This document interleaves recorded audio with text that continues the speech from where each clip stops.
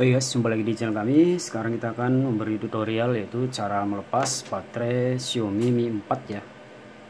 Jadi untuk melepas teman-teman buka dulu soket ininya ya, fleksibel. Ya.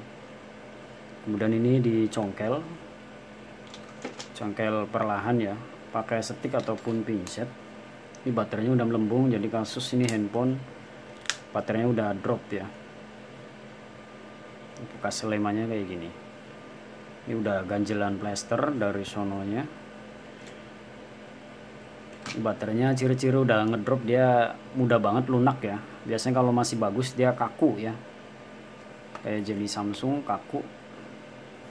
Jadi sangat mudah banget untuk mengganti. Jadi usahakan ininya dilepas dulu. Takutnya nanti teman-teman bongkar baterai langsung. Ini aku tarik ataupun konektor pada pin PCB ini ikut ke bawah. Itu susah untuk masang kembali ya dan harus mencari dulu ya spare partnya.